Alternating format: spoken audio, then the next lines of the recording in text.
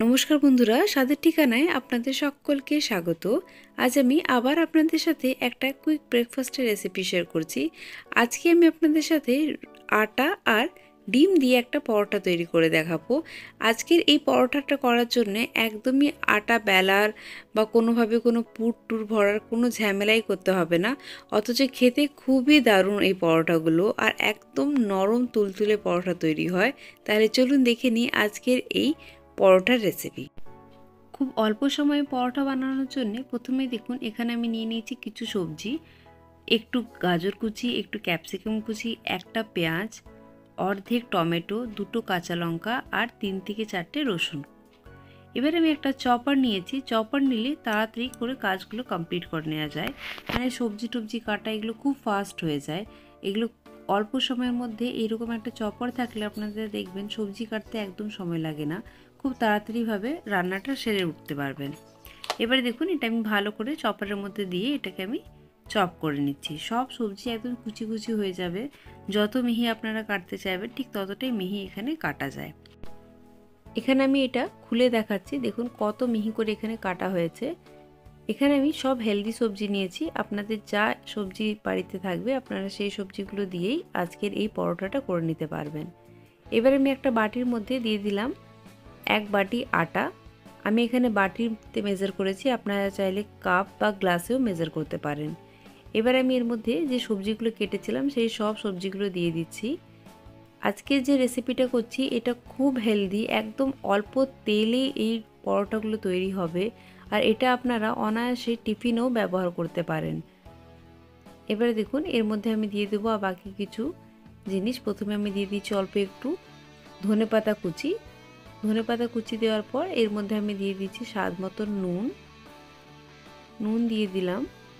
এবার আমি এর মধ্যে দিয়ে দিচ্ছি অল্প একটু চিলি ফ্লেক্স। চিলি ফ্লেক্স দেওয়ার পর এর মধ্যে আমি যে বাটিতে আমি আটা নিয়েছিলাম, ঠিক সেই বাটির মাপ করেই আমি এখানে জল নিয়েছি।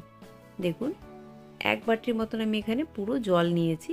এবার এটা আমি ভালো করে মিক্স করব। খুব ভালো করে এটা মিক্স করে নিতে হবে। একটু মোটা হবে কনসিস্টেন্সিটা প্রথমে, দেখুন। এটা একদম অল্প সময়ের মধ্যেই এই রেসিপিটা আপনারা বাড়িতে বানিয়ে নিতে পারবেন। সকালবেলায় চটজলদি রেসিপি কি করা যায় সেটা আমাদের সবার মাথার একটা বিশাল বড় একটা চিন্তা থাকে সকালে। এই রকমভাবে যদি একটা রেসিপি করা হয়, তাহলে দেখবেন খুব চটজলদি রেসিপিটা করে নিতে পেরেছেন। এবারে দেখুন, এর মধ্যে আমি দিয়ে দিলাম দুটো ডিম। ডিম দেওয়ার পর এটা আমি আবার ভালো করে মিক্স করব। ডিম দেওয়ার পর দেখবেন ব্যাটারটা অনেকটাই পাতলা হয়ে গেছে। ব্যাটারটা কিন্তু আপনাদের আন্দাজ করে বুঝে নিতে হবে, খুব বেশি পাতলা বা খুব বেশি মোটা ব্যাটার কিন্তু এই পরোটার জন্য লাগবে না।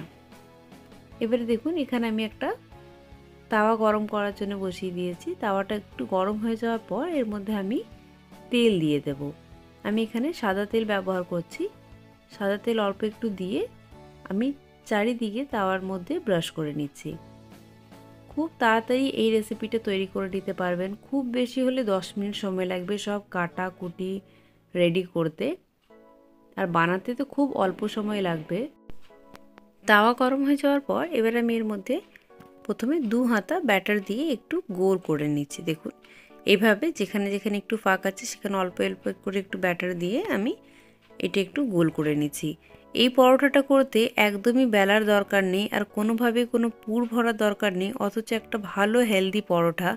আর এই পরোটার মধ্যে দেখুন, সব রকমের সবজি দিয়েছি, যেগুলো আমার বাড়িতে অ্যাভেলেবেল ছিল সেগুলো দিয়েছি। এবার এটা একদম আস্তে আস্তে করে এটা একটু হবে। এটা প্রায় এক মিনিটের মতন একটু সময় লাগবে হতে। ঠিক এক থেকে দেড় মিনিট একদম লো আছে এটা হতে হবে। এবারে দেখুন আমি এটা চারিদিক থেকে একটু আস্তে আস্তে করে খুন্তিতে করে উঠিয়ে দিচ্ছি। এটা একটু পরে এটা পুরোটাই উঠে আসবে, দেখুন। হালকা করে এটা আমি তুলে দিয়েছি, এবার এটা আমি পুরোটাই উঠিয়ে নিয়েছি। পুরো এক থেকে দেড় মিনিটের পর এটা একদম ভালোভাবে উঠে আসে। বেশি কিছু সময়ও লাগে না আর খুব চটজলদি এই পরোটাটা তৈরি হয়ে যায়। এবার আমি এই পরোটাটা এপিট ওপিট করে ভালো করে সেঁকে নিচ্ছি। আর এটা সেঁকে নেওয়ার পর এবারে দেখুন, এটা আমি তুলে নেব একটা প্লেটের মধ্যে। এই ভিডিওটি আপনাদের ভালো লাগলে অবশ্যই আমার চ্যানেল স্বাদের ঠিকানাকে সাবস্ক্রাইব করবেন এবং পাশের বেল আইকনটি অবশ্যই প্রেস করবেন আপকামিং সব ভিডিওজের নোটিফিকেশানস পাওয়ার জন্য। দেখুন, এটা আমি তুলে নিয়েছি।